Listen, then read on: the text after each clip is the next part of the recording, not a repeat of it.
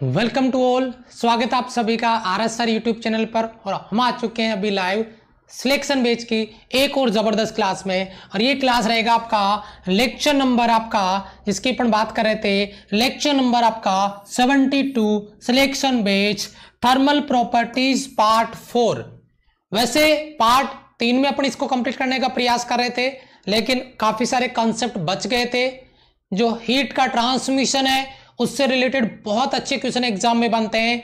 लोज के regarding question बनते हैं बहुत अच्छे अच्छे। तो वो आज हम इस क्लास में थर्मल प्रॉपर्टीज़ का एंड गेम करने वाले हैं, यानी इसको फिनिश करने वाले हैं। अगर आपने इसका लेक्चर वन टू थ्री, अगर मिस कर दिया फ़र्स्ट सेकंड थर्ड अगर मिस कर दिया है तो मैंने प्लेलिस्ट में अपडेट इसको कर दिया है। सिलेक्शन बेच के नाम से जो आपका प्लेलिस्ट है सिलेक्शन बेच उसमें ये कंप्लीट वीडियोज़ आपको मिल जाएगी। तो वहाँ से जाके आप उस पार्ट को ज़रूर से तैयार करिए। यहाँ पे आज हम थर्मल प्रॉपर्टीज़ को फिनिश कर देंगे एंड कर देंगे।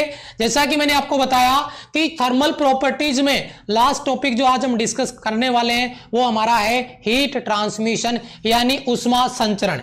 इसके रिगार्डिंग बहुत ही अच्छे अच्छे क्वेश्चन बनते हैं, बहुत ही अच्छे अच्छे कॉन्सेप्ट बनते हैं। तो आज की क्लास को फुल विजुअल करने वाले हैं। तो जो बच्चे एक बार क्लास में आ चुके हैं हाउस द जोस का रिप्लाई कर दीजिए कमेंट सेशन में, और लाइक बटन पे एक बार प्रेजेंट लगा के अपनी जो उपस्थिति है, उसको बता दीजिए कि हम प्रेजेंट हो चुके हैं। अपनी जो प्रेजेंट है, उसको लगा दीजिए। ठीक है? तो ये काम आपको सबसे पहले करना है, और अगर हो सके कि क्लास को शेयर कर देना है तो क्लास को शेयर भी फटाफट कर दीजिए ताकि हम फटाफट कॉन्सेप्ट स्टार्ट इसके कर दें। तो क्लास स्टार्ट करूँ इससे पहले एक इंफॉर्मेशन जो मैंने आपको बताई है। क्या? कि ये अन अकेडमी का मेरा प्रोफ़ाइल है, आप देख पा रहे होंगे। अन अकेडमी प्रोफ़ाइल पे किस तरीके से हमने इसको आपका प्यार और सपोर्ट मिल रहा है। ये टोटल वॉच टाइम है, ये लास्ट थर्टी डेज़ है, ये आपकी आर्मी आर एस की जो आर्मी है, ये और सिक्स के डेडिकेशन देख रहे हो आप? ये आपका डेडिकेशन है, यहाँ पे सिक्स के का जो आप ही ने हमें सपोर्ट करके तैयार किया है। अगर कोई बच्चा अन अकेडमी पे ज्वाइन करना चाहता है फ्री क्लासेस तो ये मेरी टॉप आपकी जो टॉप आपकी जो 21 हंड्रेड क्वेश्चन सीरीज़ है उसकी क्लासेज हैं वन बाय वन देखिए, ये पार्ट आपका 24 ये 23 ये 22 ये आपका 20 20 19 इस तरीके से ये आपके पार्ट यहाँ पर मैंने डाल रखे हैं। तो अगर कोई बच्चा अन अकेडमी पे फ्री क्लासेज ये स्पेशल क्लास है फ्री है, अगर कोई बच्चा ज्वाइन करना चाहता है तो ज्वाइन कर सकता है। डिस्क्रिप्शन में लिंक दिया हुआ है स्पेशल क्लास का। ये स्पेशल क्लास है फ्री ऑफ़ कॉस्ट है, सुबह आठ बजे होती है डेली सुबह आठ बजे होती है डेली। जिन बच्चों को नहीं पता, जिन्होंने ज्वाइन नहीं किया, उनको बता दूँ। और इस क्लास में हमेशा तीन हज़ार से ऊपर, लगभग साढ़े तीन हज़ार के आसपास बच्चे लाइव रहते हैं। तीन से साढ़े तीन हज़ार के आसपास, ठीक है? यस इसके अलावा जो बच्चे अन अकेडमी प्लस पे ज्वाइन करना चाहते हैं अन अकेडमी प्लस पे मेरे बेस कोर्स चल रहे हैं, पंद्रह सितंबर से चल रहा है, चौदह सितंबर से चल रहा है, दस सितंबर से चल रहा है, बीस अगस्त से चल रहा है, और और भी बहुत सारे मेरे जो कोर्सेज है, वो अन प्लस पे बैक टू बैक ये कोर्सेज मेरे अन प्लस पे। अगर कोई बच्चा ज्वाइन करना चाहता है अन का लर्निंग ऐप ओपन करें, डिफेंस कैटेगरी सेलेक्ट करें, उसके बाद में गेट सब्सक्रिप्शन पे क्लिक करिए। उसके बाद में अगर आप थ्री मंथ के लिए ज्वाइन करना चाहते हैं, अगर आप सिक्स मंथ के लिए ज्वाइन करना चाहते हैं तो उसको सिलेक्ट करें। उसके नीचे कोड का ऑप्शन आएगा कैपिटल लेटर में आर एस आप कोड यूज़ करेंगे देन आपको 10 परसेंट डिस्काउंट मिल जाएगा। यहाँ पे प्रोसीड टू पे पे क्लिक करने पे। Code R S capital letter में मैंने यहाँ पे लिख दिया है। तो ये आपकी इंफॉर्मेशन हो गई है। टाइम टेबल में बता दूँ top twenty one hundred question series है। वो सुबह आठ बजे अन अकेडमी की स्पेशल क्लास में उसके बाद में सिलेक्शन बेच की ये जो क्लास आपकी चल रही है, वो ग्यारह बजे आर एस यूट्यूब चैनल पे उसके बाद में द वॉरियर्स बेच कोर्स में मैथ्स की कॉन्सेप्ट क्लास 12 बजे, ये भी आर एस यूट्यूब चैनल पे होती है। उसके बाद में maths top 1000 question series top 1000 question series ये स्टार्ट होती है आपकी डेढ़ बजे, ये भी आपका आर एस यूट्यूब चैनल पर ही स्टार्ट होती है। ये क्लासों का शेड्यूल था जो मैंने आपको बताया है। अब फटाफट से हीट ट्रांसमिशन की जिसकी बात अपन यहाँ पे कर रहे थे, इसको स्टार्ट करते हैं। तो रेडी है सारे सोल्जर हाउस द जोस के साथ में रिप्लाई कर दीजिए। स्टार्ट करते हैं हीट ट्रांसमिशन क्या है? उष्मा का संचरण क्या है? मतलब जो हीट है, उसको एक ऑब्जेक्ट से दूसरे ऑब्जेक्ट में किस तरीके से उसका ट्रांसमिशन हो रहा है? कंडक्शन के थ्रू हो रहा है रेडिएशन के थ्रू हो रहा है, या कन्विक्शन के थ्रू हो रहा है? इनके बारे में अपन यहाँ पे बात करने वाले हैं। यानी हीट का एक ऑब्जेक्ट से दूसरे ऑब्जेक्ट में किस तरीके से ट्रांसफ़र आपको यहाँ पर किया जा रहा है, उसी के बारे में अपन यहाँ पे डिस्कस करने वाले हैं। तो देखिए, यहाँ पे मैंने क्या नोट किया है, उसी के बारे में डिस्कशन सबसे पहले हीट का ट्रांसफ़र एक ऑब्जेक्ट से दूसरे ऑब्जेक्ट में होगा। लेकिन ये चीज़ मैं क्लियर कर चुका हूँ हीट जब भी ट्रांसफ़र होता है, जब एक ऑब्जेक्ट के पास उष्मा उसका टेम्परेचर ज़्यादा हो, दूसरे ऑब्जेक्ट के पास हीट यानी टेम्परेचर कम हो। तो हाई टेम्परेचर वाले से हीट लो टेम्परेचर वाले ऑब्जेक्ट की ओर तब तक उसका ट्रांसमिशन होता रहेगा, उसका संचरण होता रहेगा, उसका स्थानांतरण होता रहेगा, जब तक दोनों का टेम्परेचर बराबर नहीं हो जाए। ये बात आपको समझनी होगी। मैंने यहाँ पे लिखा है, उसमें ऊर्जा का उच्च ताप वाले ऑब्जेक्ट से लो टेम्परेचर वाले ऑब्जेक्ट की ओर संचरित होती है इस पिंड, एक पिंड से दूसरे पिंड में, एक ऑब्जेक्ट से दूसरे ऑब्जेक्ट में हीट का ट्रांसमिशन तीन प्रकार से होता है।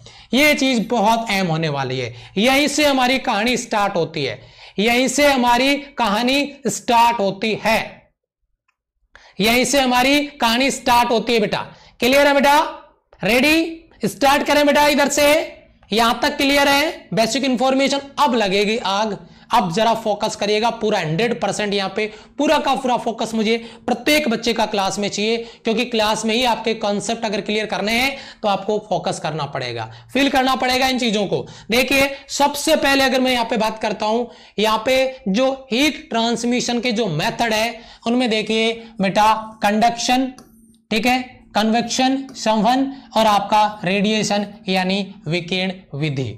इसको तीनों को एक डायग्राम में समझने के लिए मैंने एक यहाँ पे आपके लिए एक डायग्राम रखा है।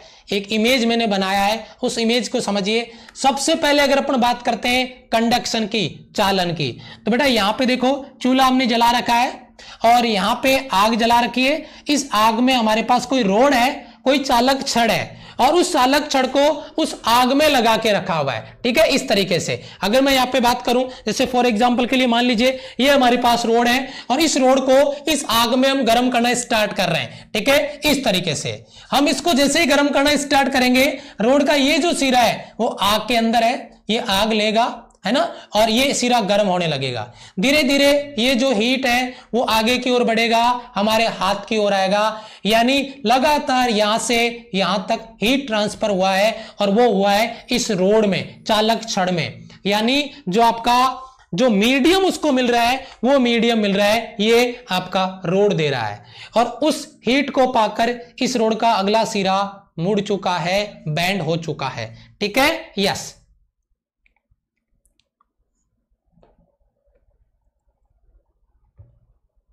अभी चेक करिए बेटा एक बार, कुछ इश्यू आ रहा है क्या? जरा देखिए एक बार।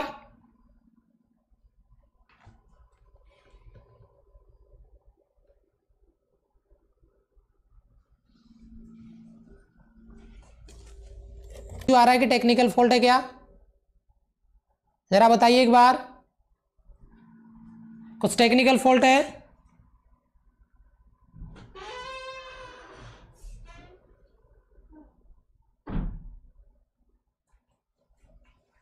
कुछ टेक्निकल फॉल्ट चल रहा है क्या? जरा बताइए एक बार, अभी ओके है? अभी ओके एक बार बताइए जरा मुझे कमेंट करके। अभी ओके है? एक बार जरा कमेंट करके बताइए।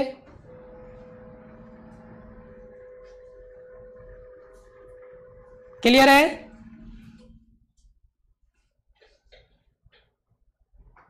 Okay yes yes okay okay okay कुछ टेक्निकल फॉल्ट आ गया बीच में? ठीक है? चलो हाँ तो मैं क्या समझा रहा था आपको? जरा ध्यान दीजिए बेटा। यस जरा ध्यान दीजिए मैं क्या समझा रहा था कि ये जो रोड का आगे का हिस्सा है, वो टेम्परेचर लेके, यानी हीट लेके, उष्मा लेके बेंड कर गया है, मुड़ गया है। इसके लिए एक मीडियम ज़रूरी था यहाँ से यहाँ तक हीट को जाने के लिए। ये माध्यम उसको मिला और ये हीट का यहाँ से यहाँ तक का क्या हो गया? कंडक्शन हो गया, उसका चालन हो गया। ठीक है बेटा? यस सर ओके यहाँ से यहाँ तक हीट उसको मिल गया है।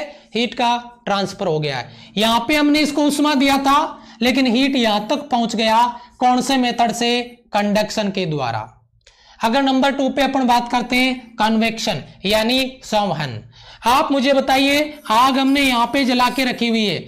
आग हमने यहाँ पे जला के रखी हुई है। सर्दी का मौसम है, अपने हाथ सेक रहे हैं। अपने हाथ सेक रहे हैं तो अपने को हल्का हल्का महसूस होगा कि यहाँ पे टेम्परेचर जो ऊपरी हिस्सा है, अपने हाथ हमारे को कुछ ही देर बाद में गर्म महसूस होने लगेंगे। यानी किरणों के रूप में मतलब ऊर्जा अपने को मिल रही है। यहाँ पे आपको सॉरी आपके जो मोलिक्यूल्स हैं एयर के, उनके रूप में अपने को हीट मिल रहा है उष्मा मिल रहा है, जो अपने हाथों तक पहुँच रहा है। ये हो गया आपका कन्वेक्शन अभी मैं इसको पॉइंट टू पॉइंट डिस्कस करूँगा. वन बाय वन जरा ध्यान दीजिएगा. एक होता है रेडिएशन के द्वारा. मतलब विकिरण के रूप में, किरणों के रूप में, जैसे सूर्य से प्रकाश पृथ्वी तक आता है. कौन से मेथड से आता है? रेडिएशन विकिरण के रूप में. तो ये चीज़ आपको थोड़ी समझनी होगी. ये कंडक्शन कन्वेक्शन और रेडिएशन इन तीनों को वन बाय वन हम डील करेंगे पॉइंट टू पॉइंट डिस्कस करेंगे. और उनमें सबसे पहला पॉइंट आपका नंबर एक पे एक बार सारे बच्चे रिप्लाई कर देंगे हाउस द जोश के साथ में फटाफट से।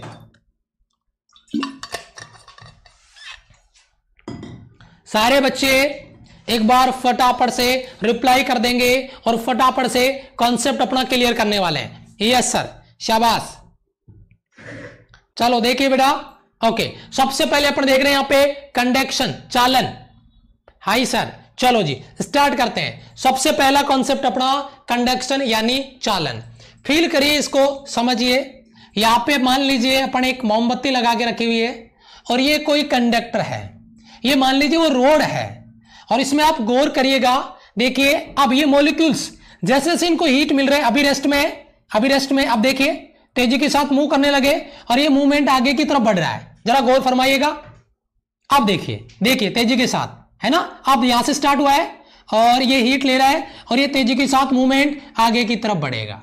यानी जो अपने पास जो कंडक्टर था, जो चालक था, उसके ये जो अणु है, वो हीट ले रहे हैं इससे और वो अगले वाले को हीट दे रहे हैं, अगले वाले को हीट दे रहे हैं, वो अगले वाले को हीट दे रहा है। इसने इसको हीट दिया और ये प्रोसेज आगे की ओर बढ़ता जा रहा है। ये प्रोसेस आपका आगे की ओर बढ़ता जा रहा है। आप मुझे ये चीज़ बताइए, यहाँ से ये जो हीट है, वो यहाँ पे ट्रांसफ़र हो गया? क्या ये मोलिक्यूल यहाँ से, यहाँ का जो मोलिक्यूल था, क्या वो चल के गया है? क्या वो चल के गया है? वहाँ तक बताइए जरा। मतलब इस कंडक्शन मेथड में हीट ट्रांसफ़र में हीट के ट्रांसमिशन में कोई भी मीडियम का पार्टिकल मूवमेंट नहीं करता है, वो एक दूसरे को हीट को पास करता है, ऊर्जा का संचरण करता है, स्थानांतरण करता है अपने पड़ोसी को, पड़ोसी अपने पड़ोसी को और ये प्रोसेस चलता रहेगा एक टर्मिनल से दूसरे टर्मिनल की ओर। इसे ही कहते हैं कंडक्शन यानी कंडक्शन ऑफ़ हीट उष्मा का चालन। इसे कहते हैं कंडक्शन ऑफ़ हीट जिसमें एक मोलिक्यूल वाले, जो स्टार्टिंग जो हीट ले रहे हैं, वो मोलिक्यूल हीट लेके, देखो जल्दी जल्दी ऊर्जा ले ली, अब आगे की और एनर्जी को ट्रांसफ़र करते हुए आगे बढ़ रहे हैं। यही है हमारा कंडक्शन पहला कॉन्सेप्ट जिसपे हम बात करने जा रहे हैं। ठीक है बेटा? यस सर आगे देखिए, आपको नोट्स में क्या लिखना है? इसका डेफिनेशन हम सर क्या लिखे नोट्स में?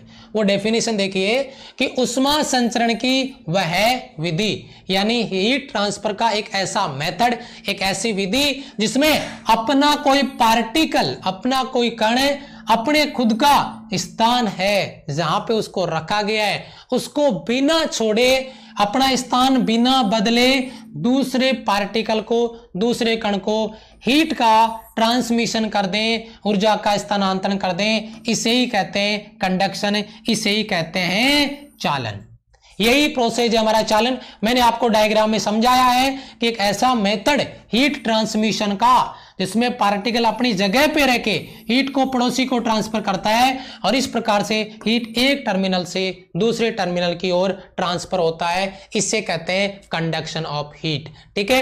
पहला डेफिनेशन पहला आपका विजुअल इफ़ेक्ट कॉन्सेप्ट दिमाग में इमेज बन गया होगा कि कंडक्शन क्या है, इसको अपन कैसे डील कर सकते हैं। अब इसके कुछ स्पेशल पॉइंट है, जिनके द्वारा बनने वाले जो क्वेश्चन है, उनको तैयार करेंगे point to point one by one सबसे पहले देखिए, पहला पॉइंट आपका। पहला पॉइंट क्या है? यहाँ पे देखिए बेटा, आप एक बार इस डायग्राम को थोड़ा फील करिए, समझिए। यहाँ पे मान लीजिए अपने एक कैंडल लगा रखा है, एक मोमबत्ती लगा रखी है, और ये एक रोड है। इस रोड को अभी मैंने गर्म, अब, अभी गर्म करना स्टार्ट किया है। आप नोटिस कर रहे हैं? इसका हीट ये रेड कलर में क्या जा रहा है? ये हीट एक सिरे से, इस एंड से, इस एंड की ओर। देखना? अब स्टार्ट होगा ये देखना? अब स्टार्ट हुआ है। अब देखिए, लगातार हीट आगे की ओर बढ़ रहा है। क्या ये रोड के यहाँ के जो मोलिक्यूल्स है, वो इधर जा रहे हैं? नहीं सर तो मैंने क्या लिखा? ऊपर देखिए जरा। उष्मा का ट्रांसफ़र हीट का ट्रांसमिशन यानी हॉट टर्मिनल से, गर्म सिरे से, जो आपका कोल्ड टर्मिनल है, ठंडा सिरा है, उसकी ओर उष्मा का संचरण होता है। यानी उष्मा गर्म सिरे से ठंडे सिरे की ओर प्रवाहित होती है। माध्यम के कण दोलन करते हैं, पर अपने स्थान को नहीं छोड़ते हैं। दोलन करने का मतलब है ये वाइब्रेशन ये वाइब्रेशन करेंगे, लेकिन अपनी जगह पे रह के करेंगे। यानी ये विरोध कर रहे हैं, ये मान लीजिए, लेकिन अपने कानून कायदे में रहकर ठीक है? ये देखिए जगह जगह वाइब्रेशन हो रहा है और अपना हीट आगे की ओर ट्रांसफ़र किया जा रहा है। यही चीज़ मैंने समझाई है पहला प्रॉपर्टी कंडक्शन का पार्टिकल मूवमेंट नहीं होगा। अपने स्थान पर रहकर एनर्जी को एक टर्मिनल से दूसरे टर्मिनल की ओर ट्रांसफ़र करेगा, आगे की ओर बढ़ाएगा। क्लियर है बेटा? शाबाश। चलो जी, आगे चलें दूसरे पॉइंट पे। दूसरा पॉइंट देखिए इसका क्या है। पहला पॉइंट बेटा सभी बच्चों का क्लियर है। ये राइट और रॉन्ग स्टेटमेंट के बहुत अच्छे सवाल इधर से तैयार होने वाले हैं। हीट ट्रांसमिशन का क्वेश्चन बहुत गजब बनता है। हलवा सवाल नहीं होगा, अच्छे लेवल का क्वेश्चन होगा, सोचना पड़ेगा थ्योरी के क्वेश्चन को भी राइट करने के लिए। जरा ध्यान दीजिएगा। दूसरा पॉइंट क्या है इसका? चालन के लिए कंडक्शन के लिए मीडियम रिक्वायर्ड है। ये बहुत अच्छा सवाल है। और आपने ये सवाल प्रैक्टिस भी किया होगा। कंडक्शन एक हीट ट्रांसमिशन का एक ऐसा मेथड है, जिसके लिए मीडियम रिक्वायर्ड है, माध्यम ज़रूरी है। ये जो हीट एक सिरे से दूसरे सिरे पे जा रहा है, ये रोड के अंदर चल के जा रहा है। ये रोड क्या है? ये छड़ क्या है? मीडियम है। यानी जो आपका कंडक्शन के द्वारा जो हीट का ट्रांसफ़र हो रहा है, उसके लिए मीडियम बहुत ज़्यादा ज़रूरी है। ये पॉइंट नंबर टू प्रत्येक सोल्जर का क्लियर हो जाना चाहिए। ठीक है? यस आगे चले बेटा, चलो, ये आपका हो गया दूसरा पॉइंट उसके बाद में अगर अपन आगे बढ़ते हैं, तीसरे पॉइंट पे. तीसरा पॉइंट आपका क्या है? ये एक धीमी प्रक्रिया है. बेटा, जो रोड है, वो एक सिरे से, जो उसका लो यहाँ से अगर अपन यहाँ पे उसको कर रहे हैं, है ना? ये लो यहाँ से यहाँ तक जाएगा, जब इसको हीट दिया जाएगा तो जो हीट का ट्रांसफ़र होगा, इस टर्मिनल से, इस टर्मिनल तक वो बहुत ही स्लो प्रोसेस में होता है, आराम से होता है धीरे धीरे होता है। यानी कि तुरंत इस सिरे को गर्म किया, तुरंत ये सिरा गर्म हो गया। ऐसे बिल्कुल भी नहीं होता है। यानी ये एक स्लो प्रोसेस है। कोई पूछ सकता है कंडक्शन जो हीट ट्रांसमिशन का मेथड है, वो कैसा प्रोसेस है? फास्ट स्लो तो अपन कहेंगे स्लो प्रोसेस सवाल बढ़ा के आपको एज इज़ मिलेगा एज इज़ क्वेश्चन मिलेगा, इसको आपको क्लियर रखना है क्लियर करना है। क्लियर है बेटा? आगे चले, दूसरा पॉइंट हो गया, तीसरा हो गया, चौथा पॉइंट देखिए क्या है। एक एक पॉइंट से एक एक सवाल बनेगा, इसलिए मैंने इनके पॉइंट बना के डाले ताकि उन सवालों को आप क्लियर कर सको, उन सवालों को आप तैयार कर सको।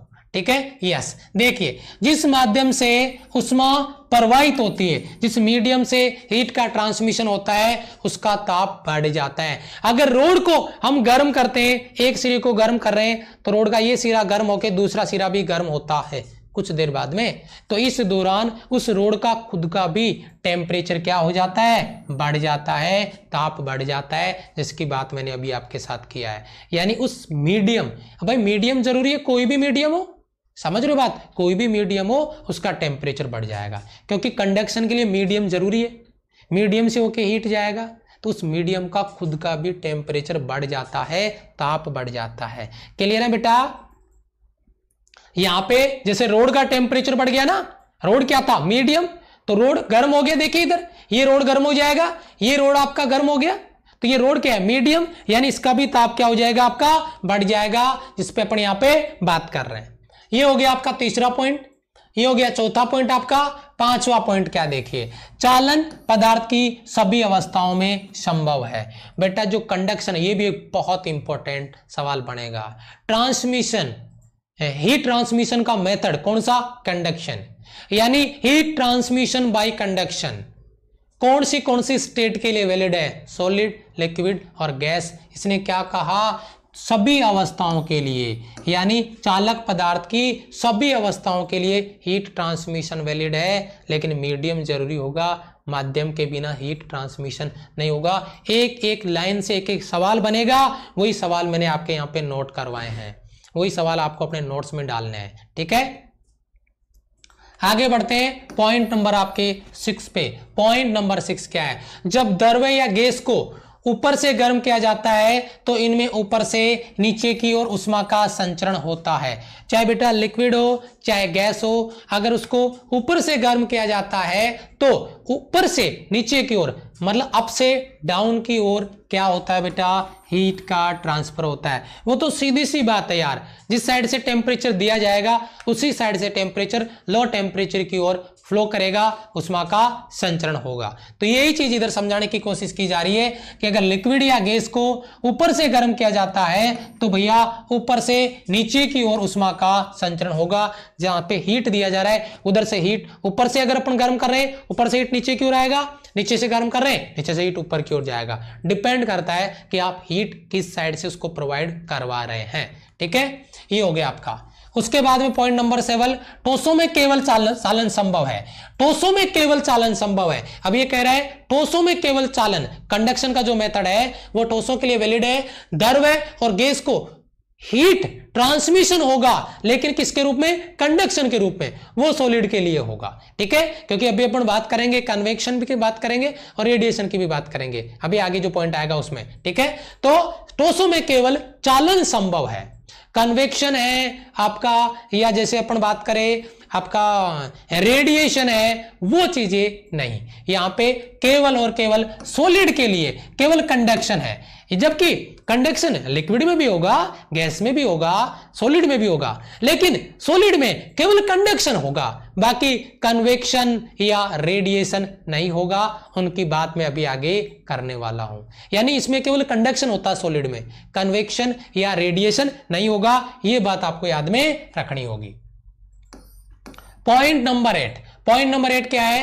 अधात्विक ठोस।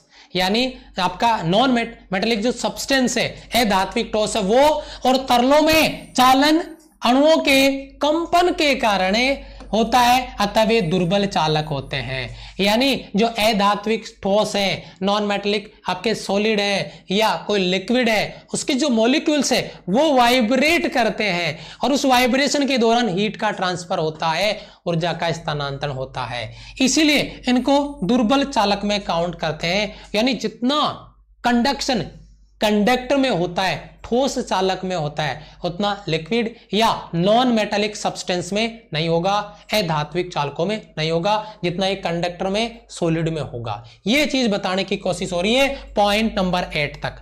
क्लियर है बेटा? क्लियर है? ओके आगे चले। क्लियर है बेटा यहाँ तक? पॉइंट क्लियर है? वन बाय वन जरा बताइए फटाफट से एक बार। कमेंट करके। यहाँ तक क्लियर है बेटा? फटाफट से। चले आगे। जल्दी से एक बार रिप्लाई करिए। पॉइंट नंबर एट तक क्लियर है। मैं एक एक पॉइंट में एक एक सवाल बना के आपको बता रहा हूँ।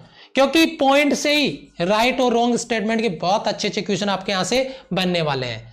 धात्विक ठोस में, यानी जो मेटालिक सोलिड है, अभी मैंने बताया था आपको, धात्विक ठोस मेटालिक सोलिड धातु है और सोलिड है, ठोस है। में नंबर ऑफ़ फ्री इलेक्ट्रॉन्स बहुत ज़्यादा होते हैं, जो कि हीट ट्रांसफ़र को मतलब हीट को अपने साथ लेके जाते हैं हीट ट्रांसफॉर्मेशन में अपना काम करते हैं, अर्थात वे उष्मा के अच्छे चालक होते हैं। अगर धात्विक सॉलिड है, मैंने बताया था मेटेलिक सॉलिड है तो उसमें हीट ट्रांसमिशन बहुत अच्छे से होता है। हीट को बहुत अच्छे से एक टर्मिनल से दूसरे टर्मिनल पर लेके जाते हैं। यानी वे हीट के बहुत ही अच्छे कंडक्टर होंगे, उष्मा के बहुत ही अच्छे चालक होंगे गुड कंडक्टर ऑफ़ हीट कौन? मेटेलिक आपके सोलिड धात्विक चालक है। Good conductor of heat heat यानी उष्मा के बहुत ही अच्छे चालक होते हैं बेटा। पॉइंट नंबर आपका क्लियर है? आठ आठ नंबर का? है धात्विक टोस। तरल, बेटा कोई भी लिक्विड पानी ले लो नॉन मेटेलिक सब्सटेंस ले लो। समझ रहे हो बात? जो कंडक्टर नहीं है, कोई भी नॉन मेटेलिक उसमें हीट का ट्रांसमिशन उतना ज़्यादा नहीं होगा जितना लोहे की रोड को गर्म करने पे होगा। लोहे की रोड जल्दी गर्म होती है। कोई नॉन मेटेलिक सब्सटेंस लो, पानी लो, उसको गर्म होने में टाइम लगेगा। उसमें स्लो प्रोसेस होता है, लेकिन मेटल मेटेलिक सब्सटेंस ये मैंने बताया ना, ये देखिए मेटेलिक सब्सटेंस धात्विक सोलिड उसमें हीट ट्रांसमिशन बहुत जल्दी होता है, क्योंकि उसमें नंबर ऑफ़ इलेक्ट्रॉन बहुत ज़्यादा होते हैं। पॉइंट नंबर नाइन तक आपका क्लियर है। अब आगे अपन बात कर रहे हैं कन्वेक्शन की, संवहन की। बताइए, यहाँ तक क्लियर है बेटा? यहाँ तक क्लियर है बेटा? यहाँ तक क्लियर है बेटा, एक बार जल्दी बताइए। यहाँ तक क्लियर है यस यहाँ तक क्लियर है बेटा कन्वेक्शन यस बहुत अच्छे। जल्दी बताइए, अपने अगले पॉइंट पे क्लियर करते हैं। बहुत ही ज़बरदस्त पॉइंट है आपका। शाबाश।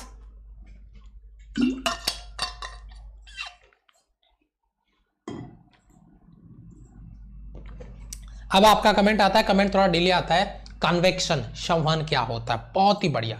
गजब का टॉपिक है कन्वेक्शन और संवहन। बेटा, इसमें क्या होता है, जैसे सॉलिड में क्या हो रहा था? अगर रोड के एक टर्मिनल को गर्म करने पे उसके पार्टिकल वाइब्रेट करके हीट को एक टर्मिनल से दूसरे टर्मिनल को ट्रांसफ़र कर रहे थे, खुद चल के नहीं जा रहे थे। खुद चल के नहीं जा रहे थे। लेकिन कन्वेक्शन में, यानी संवहन में इसका उल्टा होता है। इसमें जो आपका मीडियम है, उसके पार्टिकल एक पॉइंट से दूसरे पॉइंट की ओर ट्रांसफ़र होते हैं। एग्ज़ाम्पल देख के आपको समझ में आ रहा होगा, है ना? ये आपको मैंने रूम हीटर लगा रखा है, मान लीजिए रूम को गर्म करने के लिए। अपन इसको रूम के एक कोने में रखा हुआ है। लाइट में लगाया और इसने मतलब हीट जनरेट करना स्टार्ट कर दिया। इसका जो हीट है वो एक कोने से रूम के बाकी जो कोने हैं, वहाँ तक इसके जो मीडियम अपने जो मतलब माध्यम मिल रहा है उसको, हवा का, उसके जो पार्टिकल है, वो एक सिरे से दूसरे सिरे की तरफ़ जाएँगे और पूरे रूम को गर्म कर देंगे। पूरा रूम आपका गर्म हो जाएगा। ये जो मेथड है, वो कहलाता है हमारा कन्वेक्शन यानी संवहन। जरा इसको समझिए। कन्वेक्शन या संवहन को समझने के लिए एक छोटा सा इमेज मैंने आपके दिमाग में लगा दिया है। वो देखिए क्या है। मैंने यहाँ पे एक, मान लो ये आपका रूम हीटर है, यहाँ पे मैंने लगा दिया है। और इस रूम हीटर के आसपास में जितने भी ये आपको रेड डोट दिख रहे हैं, ये रेड कलर में जो छोटे छोटे पार्टिकल आपको मोशन करते हुए नज़र आ रहे हैं, ये ही यहाँ से हीट लेके पूरे इस रूम में, पूरा ये जो आपका रूम है मकान है, इसमें फैल रहे हैं। यहाँ से ईट लिया और इधर जाके फैल रहे हैं। यहाँ से ईट लिया, इधर जाके फैल रहे हैं। देखो, दिख रहा है ना? ये ईट ले रहे हैं और देखो, अब इनका आकार देखो कैसे चेंज हो रहा है। यस ये देखिए और हीट लेके दूसरे को जाके चेंज कर रहे हैं। यानी ये खुद चले जाएँगे, उसके बाद में जो कोल्ड पार्टिकल है वो इधर आएँगे, वो भी गर्म हो जाएँगे। फिर ये चले जाएँगे कोल्ड पार्टिकल इधर आएँगे, वो भी गर्म हो जाएँगे। और पूरा रूम हमारा गर्म हो जाएगा इस प्रकार इन पार्टिकल के मोशन से। यही जो हमारा मेथड है, वही कन्वेक्शन है, वही संवहन है। समझ में आया बेटा? यही हमारा कन्वेक्शन है, जिसके बारे में अपन यहाँ पे बात कर रहे हैं। क्लियर है बेटा? क्लियर है बेटा? ये प्रोसेस आपका रहेगा, लगातार ये प्रक्रिया चलती रहेगी, और एक जहाँ पे उसको हीट मिल रहा है, वहाँ से उष्मा रूम के बाकी कोनों में स्थानांतरित होती रहेगी चलती रहेगी उसका ट्रांसमिशन होता रहेगा। डेफिनेशन ऊपर दिया है उसको मैं डेफिनेशन को इधर इस चाय का जो है कप है या कॉफ़ी का जो कप है अब आपको देख लेना कॉफ़ी है या चाय है, नज़र आ रही होगी है ना? इसके लिए कैसे ये लिंक होता है उसके लिए मैंने ऊपर इसको डिफाइन किया है फिर इसी डेफिनेशन को इधर लिंक कर देंगे। गौर फरमाइएगा क्या? कि उष्मा चालन यानी हीट ट्रांसमिशन का ये एक ऐसा मेथड है। कौन? कन्वेक्शन संवन। हीट ट्रांसमिशन का एक ऐसा मेथड है जिसमें उष्मा का द्रव्य कणों की, उष्मा द्रव्य कणों की गति के द्वारा स्थानांतरित होता है संवहन कहलाता है। जो द्रव्य कण है, जो आपका जो पार्टिकल है, उस मीडियम के लिए, जो भी मीडियम उसको दिया जा रहा है उसके पार्टिकल के मूवमेंट से, उसके मोशन से, जो भी हीट ट्रांसमिशन होता है, उसी को हम कन्वेक्शन कहते हैं, उसी को हम संवहन कहते हैं। ये देखिए ये देखिए इस कप के अंदर की स्थिति है और ये कप के बाहर की स्थिति आपको दिख रही होगी। ये एक कोल्ड हॉट नीचे कोल्ड नीचे आ रहा है हॉट ऊपर जा रहा है। ये प्रोसेस इस प्रक्रिया में, ये अंदर देखिए कप के अंदर की स्थिति है। तो इस प्रकार मीडियम के, ये जो अंदर कॉफ़ी चाय हमने यहाँ पे भर रखी है अब देखिए, ये कॉफ़ी चाय हमने जो भर रखी है, इस प्रकार से ये प्रोसेस इसका आपको देखने को मिलेगा। लगातार पार्टिकल मूव करते रहेंगे और हीट का ट्रांसमिशन पार्टिकल फॉर्म में एक स्थान से दूसरे स्थान की ओर होता रहेगा। क्लियर है बेटा यहाँ से? डेफिनेशन समझाइए मैंने केवल। केवल डेफिनेशन समझाइए बेटा। केवल डेफिनेशन समझाइए। अब इसके कुछ मेथड देख लेते हैं, इसके कुछ टाइप्स देख लेते हैं। बिल्कुल बेसिक सवाल बनेगा यहाँ से। और वो सवाल जैसे मान लीजिए क्या बन गया? बेटा आपका नेचुरल कन्वेक्शन यानी सामान्य संवहन क्या है? ठीक है? हमने एक नीचे कोई बर्नर रखा हुआ है, यानी हीट देंगे। मान लो गैस का चूल्हा रख दिया हमने, गैस को ऑन कर दिया। ऊपर कोई कंटेनर रखा हुआ है, और उसमें मान लीजिए कोई पानी भर दिया, दूध भर दिया, है कि नहीं? कुछ भी है, कोई मीडियम रख रहे हैं। ये देखिए आप इधर से। अब हम क्या कर रहे हैं? कन्वेक्शन जो करंट है संवन जो धारा है, उसको फील करेंगे डायग्राम में। यहाँ से उसमें आ रही है ये प्रोसेस नीचे आएगा ऊपर से नीचे वाला ऊपर चला जाएगा। फिर ऊपर से नीचे आएगा नीचे वाला ऊपर चला जाएगा। फिर ऊपर से नीचे आएगा नीचे वाला ऊपर चला जाएगा। यानी इसका मतलब क्या हो रहा है कि जो मीडियम आपका लिक्विड का जो मीडियम है उसमें दो स्थानों पर घनत्व में अंतर के कारण तथा गुरुत्व प्रभाव में गर्म कणों के ऊपर हॉट पार्टिकल ऊपर की ओर और, और जो कोल्ड पार्टिकल है उनका नीचे की ओर जो मोशन होता है गति, नीचे की ओर गति, जो कि किसी तरल को गर्म करने पर होती है, संवहन कहलाता है, और वो भी आपका नेचुरल कन्वेक्शन इसको गर्म करेंगे हॉट पार्टिकल ऊपर चला जाएगा कोल्ड पार्टिकल नीचे आएगा. फिर वो गर्म होगा, फिर ऊपर चला जाएगा. ठीक है? ऊर्जा लेके, ऊपर की सतह पे. इस प्रकार अपना जो ये पूरा का पूरा लिक्विड है, जो भी अपने पानी वगैरह इसमें भरा है, वो नेचुरल कन्वेक्शन के रूप में, बिल्कुल नॉर्मल कन्वेक्शन के रूप में पूरा का पूरा आपका लिक्विड है, वो हॉट हो जाएगा, गर्म हो जाएगा। क्लियर है बेटा? क्लियर है? क्लियर है बेटा? चलो, ध्यान दीजिए बेटा कमेंट पे, पंचायत मत करिए। कॉन्सेप्ट पे ध्यान दीजिए। कॉन्सेप्ट नहीं समझ में आएगा तो भर्तियाँ आती रहेगी, जाती रहेगी पेपर क्लियर नहीं होगा। ठीक है? हाँ। पेपर क्लियर जब ही होगा, जब आप कॉन्सेप्ट क्लियर करेंगे।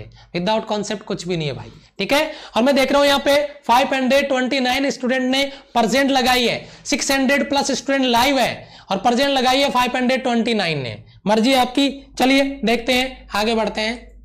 अब आता है इसका एक पॉइंट और, जो आपका नेचुरल कन्वेक्शन था, जो सामान्य संवहन था, उस कंडीशन में संवन धाराएँ, जो आपका कन्वेक्शन जो करंट है संवहन धाराएँ वो गर्म वायु को ऊपर की तरफ़, गर्म वायु ऊपर की तरफ़, वह ठंडी वायु को नीचे तरफ़ नीचे की तरफ़ लाती है। इसी कारण से उष्मा पेंदे को दी जाती है, जबकि ठंडक ऊपरी भाग में कराई जाती है। मतलब ये सीधी सी बात है, अगर किसी ऑब्जेक्ट को हम हीट देंगे तो यहाँ पे नीचे के जो पार्टिकल है, वो हीट लेके ऊपर चले जाएँगे, और ऊपर के जो कोल्ड पार्टिकल है, वो नीचे आएँगे। फिर उनको गर्म करेंगे, वो ऊर्जा लेके ऊपर की तरफ़ चले जाएँगे। इस प्रकार आपका जो नेचुरल कन्वेक्शन है, सामान्य संवन है, वो आपको देखने को मिलेगा। किसी भी लिक्विड के लिए। ठीक है? यस क्लियर है बेटा? फिजिक्स का मॉक टेस्ट कब होता है बेटा? मॉक टेस्ट सुबह आठ बजे होता है। सुबह आठ बजे होता है अन अकेडमी फ्री प्लेटफॉर्म पे फ्री क्लासेज में। टॉप आपका twenty one hundred question series है ना? उसी में। उसके शायद आज छब्बीस पार्ट हो गए हैं। ठीक है? छब्बीस मॉक टेस्ट मैंने करवा दिए, कल सत्ताईस नंबर का होगा। जिस बच्चे ने ज्वाइन नहीं किया है क्लास के स्टार्टिंग में मैंने पूरा डिटेल आपको दे दिया है। वीडियो को रिवर्स करके देख लीजिएगा। ठीक है? चलो, अब आगे बात करें इसी पे। गुरुत्व मुक्त क्षेत्र में क्या बात है, क्या बात है, क्या बात है? यानी ग्रेविटी फ्री कोई रीजन है, जहाँ पे ग्रेविटी नहीं है। ग्रेविटी फ्री रीजन में गुरुत्वीय मुक्त क्षेत्र में normal convection natural convection possible नहीं है।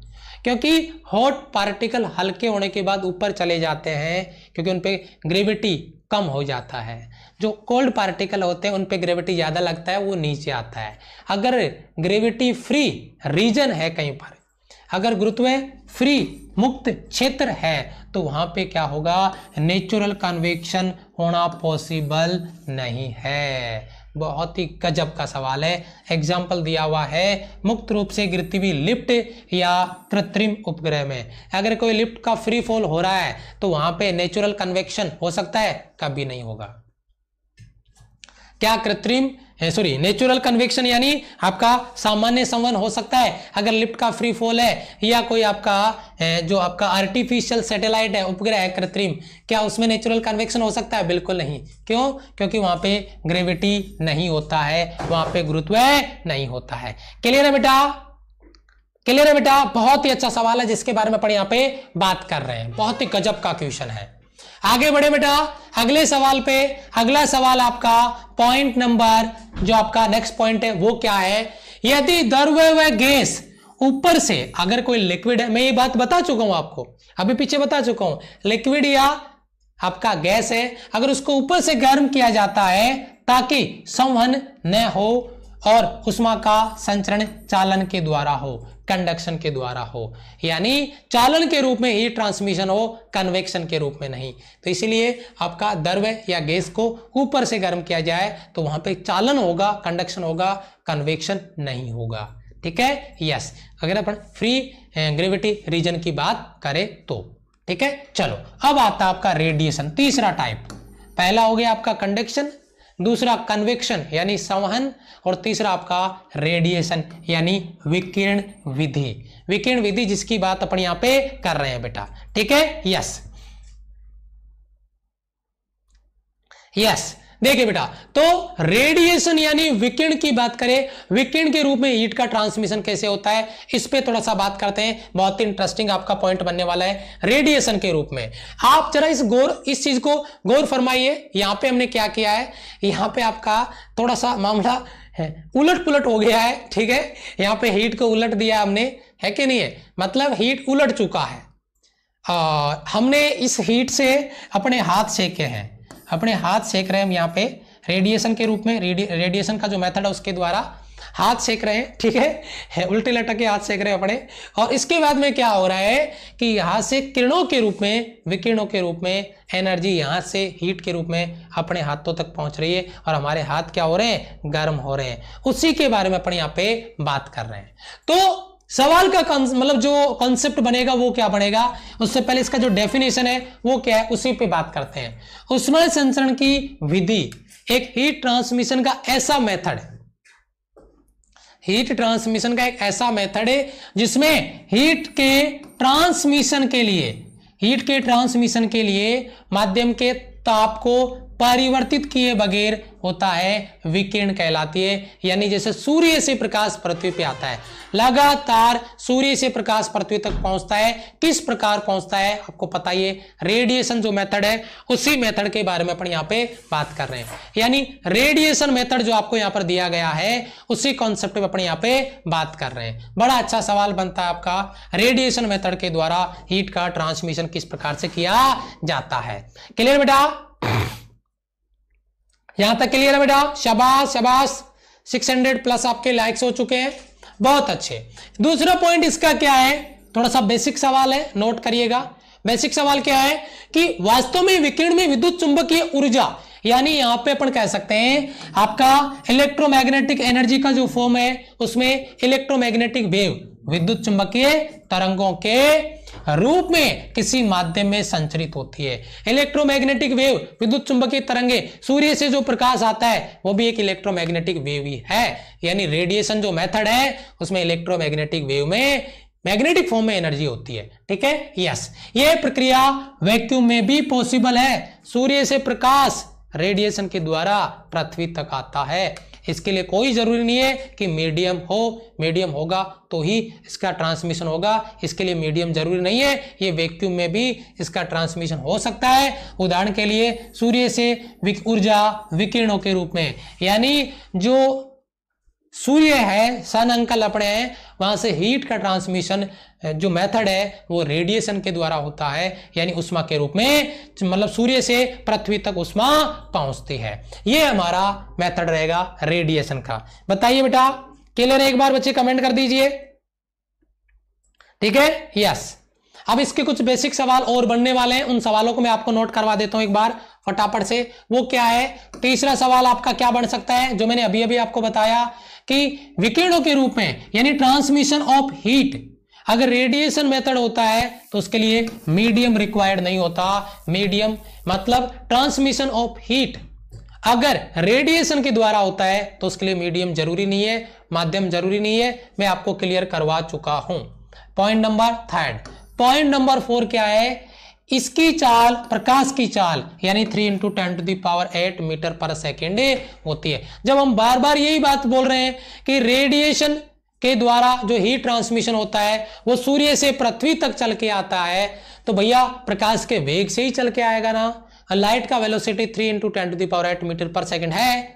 तो इसका जो वेग होगा रेडिएशन का भी, वो वेलोसिटी भी, लाइट वेलोसिटी के बराबर होगा three into ten to the power eight metre per second जिसके बारे में अपन यहाँ पे बात कर रहे हैं। ठीक है? यस क्लियर बेटा? बहुत ही अच्छे से। क्लियर है? आगे चलें। यानी इसकी चाल, प्रकाश की चाल, यानी रेडिएशन का जो वेलोसिटी है, कि रेडिएशन का, जैसे अपने कहा जैसे सबसे पहले कंडक्शन है। अरे भाई, वो तो बहुत स्लो प्रोसेस है। एक टर्मिनल से दूसरे टर्मिनल तक हीट पहुँचने में बहुत टाइम लगता है। तो बहुत स्लो प्रोसेस है। लेकिन रेडिएशन देखिए आप, उष्मा का transmission heat transmission by radiation very fast process velocity of light three into ten to the power eight metre per second के इक्वल है, बराबर है। यानी प्रकाश के वेग के बराबर वेलोसिटी के साथ हीट का ट्रांसमिशन होता है। क्लियर है बेटा? ओके शाबाश शाबाश शाबाश। चलिए, अभी थोड़ा सा आगे बढ़ते हैं। आगे एक पॉइंट को नोट करिएगा। एक पॉइंट और है इसका, जो मैं आपको अभी करवाने वाला हूँ। वो पॉइंट क्या है? ये एक बहुत गजब का न्यूमेरिकल बनता है। एक न्यूमेरिकल मैंने इसका प्रैक्टिस भी करवाया आपको। स्पेशल में भी करवाया है और मैंने आपके मतलब अन अकेडमी स्पेशल क्लास में भी इसका न्यूमेरिकल प्रैक्टिस आपको करवाया। प्लस पे भी एक क्वेश्चन मैंने इसका प्रैक्टिस करवाया है। क्वेश्चन क्या बनता है? जरा ध्यान दीजिएगा। क्वेश्चन ये बनता है कि इंटेंसिटी जो सोर्स है उसकी तीव्रता, यानी इंटेंसिटी जो है सोर्स की, वो जो भी आपने, जो ऑब्जर्वेशन पॉइंट हमने लिया है, जो प्रेक्षण बिंदु हमने लिया है, उसकी डिस्टेंस उसकी दूरी के स्क्वायर के इनवर्सली प्रपोजनल होता है, यानी जो इंटेंसिटी ऑफ़ सोर्स है, वो इनवर्सली प्रपोजनल डी स्क्वायर होता है। यही वो सवाल था, अगर उष्मा की जो तीव्रता है, जो सोर्स है कोई भी सोर्स जैसे मान लीजिए यहाँ पे आपने एक चूल्हा जला के रखा हुआ है और उसके द्वारा रेडिएशन के द्वारा आपको हीट चाहिए, उष्मा चाहिए। तो वो जो सोर्स है, उस सोर्स की इंटेंसिटी आई वो कितनी दूरी पे आपने ऑब्जर्वेशन पॉइंट नोट किया है, जहाँ पे आपको रेडिएशन के रूप में और एनर्जी चाहिए, वो डिस्टेंस डी के स्क्वायर के इनवर्सली प्रोपोर्शनल होता है। यहाँ से दूरी को दो गुना करने पे तीव्रता कितनी हो जाएगी? Intensity one by four radius को मतलब डिस्टेंस को हाफ़ करने पे इंटेंसिटी कितना टाइम हो जाएगा? फोर टाइम से ये सवाल नोट करके रखना। डायरेक्ट आपका न्यूमेरिकल बनेगा। बहुत ही गजब का क्वेश्चन यहाँ से बनने वाला है। उसके लिए तैयार रहिएगा बेटा।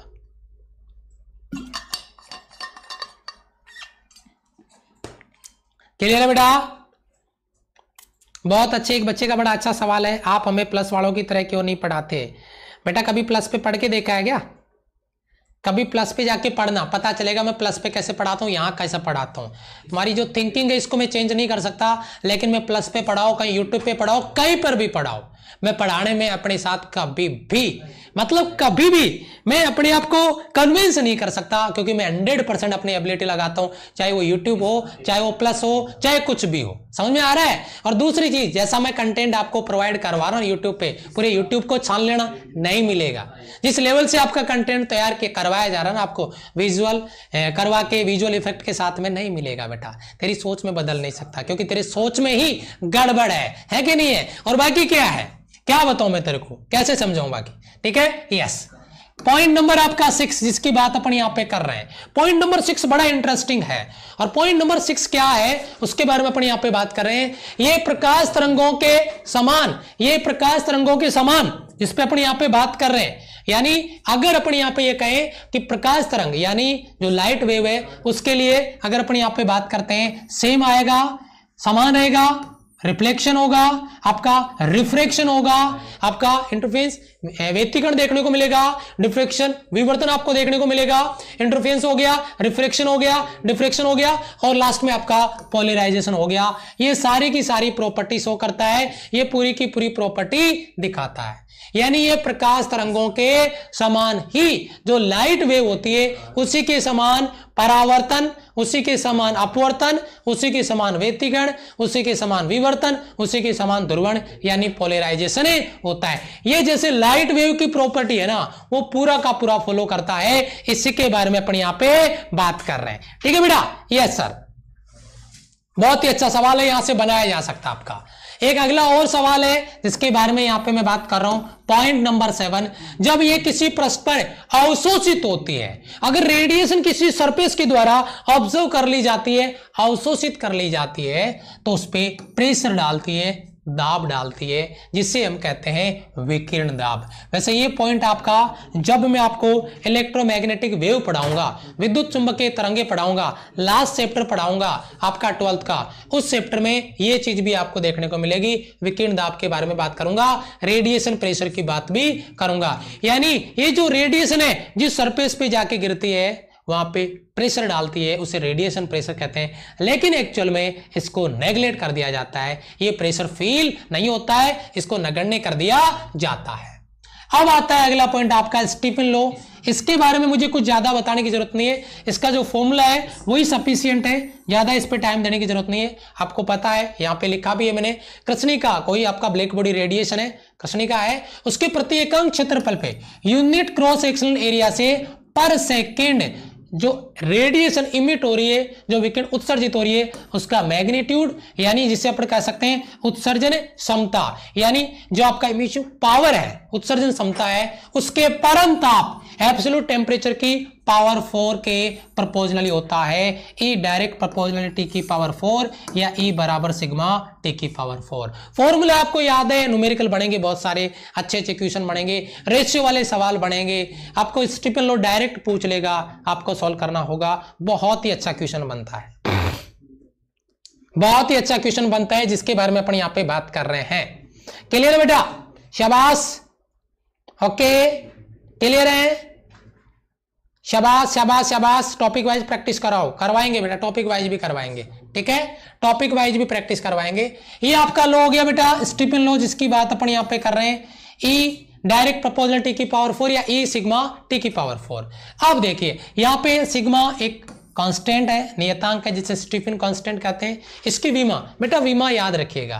विमा याद रखिएगा, बहुत अच्छा सवाल बनेगा। विमा को याद रखिएगा। ये आपका हो जाएगा यहाँ पे M one T minus three और थीटा की पावर माइनस का फोर जिसपे अपन बात कर रहे हैं एम वन टी की पावर माइनस थ्री थीटा की पावर माइनस फोर मैंने पहले लिख दिया है और ये इसकी वैल्यू है।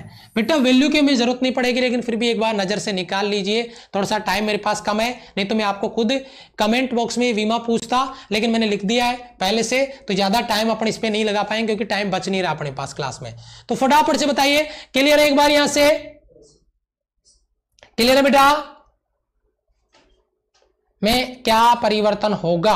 बेटा किसी भी ऑब्जेक्ट को हीट देने पे वेट में कोई परिवर्तन नहीं होता। लेकिन एक्चुअल में होता क्या है कि जैसे अपन किसी ऑब्जेक्ट को आपने हीट दिया, अगर उसको अपन ग्रेविटी में लेके जाएँ तो उसको अगर अपन उसको मास के साथ फील करें, क्योंकि कोई वस्तु ऑब्जेक्ट है, वो हीट लेके, उष्मा लेके, उसके जो पार्टिकल है, वो वाइब्रेट करने लगते हैं और वो मोशन कर जाते हैं। अपवर्ड डायरेक्शन में जो कोल्ड पार्टिकल होंगे, वो नीचे की तरफ़ आएँगे हॉट पार्टिकल ऊपर की तरफ़ चले जाएँगे। ठीक है? यस ये काम आपका करेगा।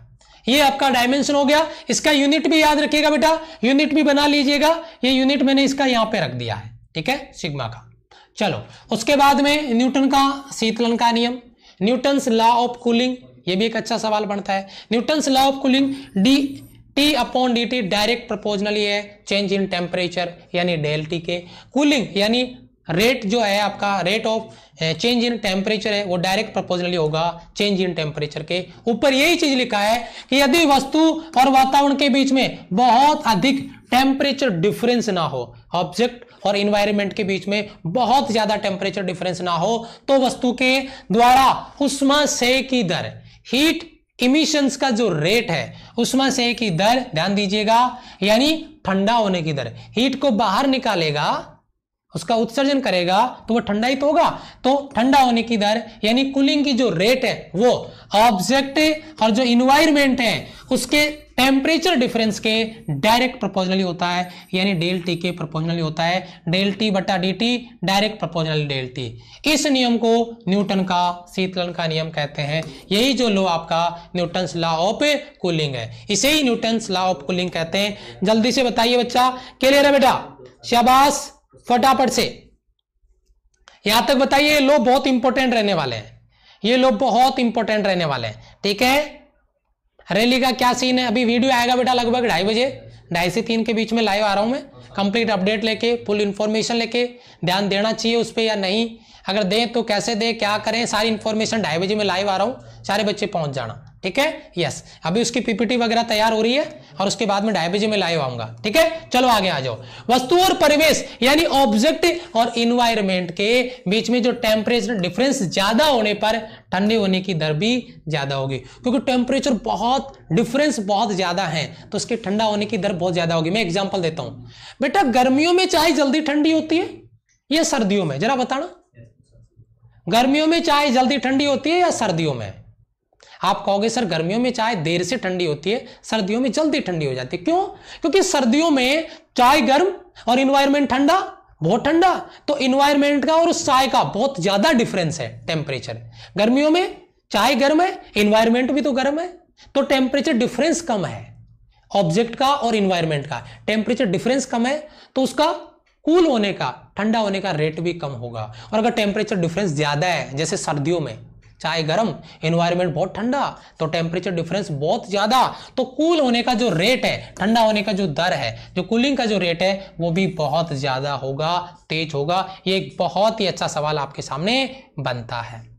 ठीक है? यस आगे बात करते हैं, और ये आपका, ये भी बहुत ही अच्छा लो है। विन का विस्थापन नियम Wien's displacement law. Wien displacement law से बहुत ज़्यादा कोई सवाल नहीं बनते, लेकिन लो आपको अगर पता है तो कोई दिक्कत नहीं है, डायरेक्ट याद रखना है इसमें। ज़्यादा अपना दिमाग नहीं लगाना जमेले में नहीं पढ़ना है। डायरेक्ट इसका फॉर्मूला याद रखना है। क्या है वैसे मैं बता देता हूँ। According to Wien's law maximum intensity जो अधिकतम तीव्रता है, उसी के उसी के अलोंग अगर वेवलेंथ की बात करें तरंग दैर्ध्य की बात करें, उस ऑब्जेक्ट के टेम्परेचर की बात करें, जो कि केल्विन में गुणनफल कांस्टेंट होगा, यानी लेमडा एम आपका वेवलेंथ और टी आपका टेम्परेचर इनका जो मल्टीप्लाई है प्रोडक्ट है, गुणा है, वो एक कांस्टेंट के बराबर होता है बी के बराबर होता है, और बी ही आपका विन का प्रपोजनली कांस्टेंट है समानुपाती नियतांक है। यही आपका विन का विस्थापन नियतांक, जिसके बारे में बात कर रहे हैं। कोई भी वेव है, कोई भी तरंग है आपका, उसके अधिकतम तीव्रता मैक्सिमम इंटेंसिटी है, उसी के संगत जो भी वेवलेंथ उसका दिया गया है लेमडा एम और जो ऑब्जेक्ट है, उसका टेम्परेचर टी का मल्टीप्लाई है, वो बी के बराबर होगा। इनका मल्टीप्लाई है, वो बी के बराबर होगा, और बी आपका मीन्स कॉन्स्टेंट है, समानुपाती नियतांक है। ये आपका समानुपाती नियतांक, इसका वैल्यू और इसका यूनिट यहाँ पर आपको दिया गया है। मीटर इंटू केल्विन इसका मात्रक मीटर इंटू क्या बेटा? केल्विन मीटर किसके लिए बेटा? लेमडा के लिए। केल्विन किसके लिए? टेम्परेचर के लिए। तो मीटर इंटू केल्विन बताइए जरा। मीटर इंटू केल्विन बेटा इंग्लिश की क्लास को लेकर अभी कुछ श्योरिटी नहीं है, क्योंकि वो सर का बैठ नहीं रहा है, वापस ऑफ़िस आना। है ना? वो ऑफ़िस आ नहीं पा रहे हैं अभी, उनका बैठ नहीं रहा। जब भी कुछ अपडेट होगा तो मैं आपको ज़रूर बताऊँगा। ठीक है? यस कुछ और कोई अरेंजमेंट होगा तो मैं जल्दी बताऊँगा आपको। उसी पे काम कर रहे हैं हम। ठीक है बेटा? यस क्लियर है यहाँ तक सभी बच्चों का? ये हमारा आज का thermal property chapter finish time आपका कम था तो लास्ट में थोड़ा सा मैंने फास्ट करवाया है। अगर आपको कोई डाउट रह गया तो एक बार क्लास को रिवर्स करके देख लीजिएगा। सारे डाउट आपके क्लियर होंगे, हो गए होंगे। उम्मीद करता हूँ, अगर वीडियो पसंद आया हो तो क्लास को लाइक कर दीजिए। नए बच्चे आए तो सब्सक्राइब कर लो। और एक अहम चीज़ जिसके बारे में बात कर रहा हूँ, इसके जस्ट बाद में हमारी क्लास होती है। इसके जस्ट बाद में हमारी क्लास होती है, यानी मैथ्स की क्लास अभी ट्वेल्व पीएम पे, इसलिए टाइम कम था। और जो मैथ्स की क्लास होती है, वो कॉन्सेप्ट होते हैं बेटा। और कॉन्सेप्ट के बिना आप, मैं फिर बता रहा हूँ कॉन्सेप्ट अपना जो है, वो पावर बनाओगे तो किसनों को फोड़ोगे? और डायरेक्ट आर एस अग्रवाल से पंगा लोगे, यानी 12 बजे कंसेप्ट होगा और उसके बाद में आपका एक तीस पे, यानी डेढ़ बजे आपका टॉप 1000 पता है ना आपको? टॉप 1000 की क्लास होती है। टॉप 1000 ही होते हैं क्लास में आके देखना फील आएगा आपको, समझ में आएगा कि क्या कॉन्सेप्ट है और वो कॉन्सेप्ट के साथ में करवाते हैं। यानी अगर आपका कोई कॉन्सेप्ट नहीं पढ़ा हुआ तो भी वहाँ पे क्लियर करवा देंगे, ठीक है? और ये 12 बजे आपका अभी कॉन्सेप्ट क्लास आने वाला मैथ्स का, इसके जस्ट बाद में। थैंक यू सो मच प्रत्येक बच्चा मुझे इस क्लास में चाहिए जो बच्चा इस क्लास में है, हम आपके लिए खड़े हैं यहाँ पे तो हमें आपका फुल सपोर्ट चाहिए। सपोर्ट मिलेगा तो और बड़े अपडेट हम आपके अक्टूबर में लेकर आने वाले हैं, जो बहुत गजब होने वाले हैं। Thank you so much love you all bye जय हिंद।